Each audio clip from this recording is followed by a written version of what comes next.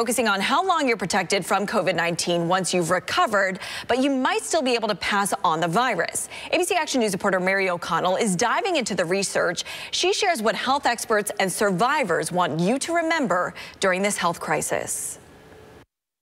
Months into the pandemic, thousands of people have come down with COVID 19.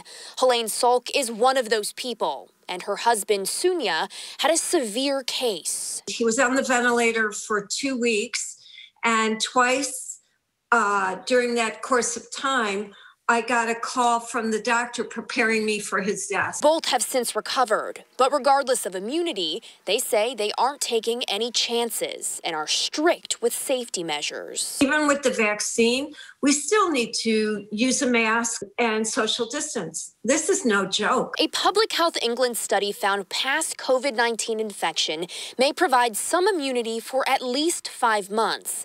But their early evidence also suggests those with immunity may still be able to carry the virus in their nose and throat and have the risk of passing it on to others, highlighting the crucial need for everyone to follow health protocols. You can spread it. That means you need to take the standard public health precautions that we've been um, talking about this whole time.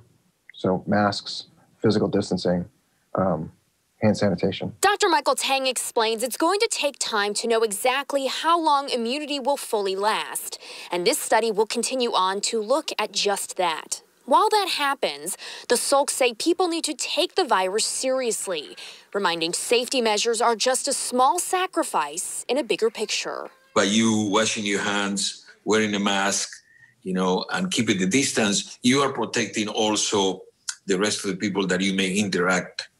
And, and that is as important as mm-hmm. protecting you, I believe. In Tampa, Mary O'Connell, ABC Action News.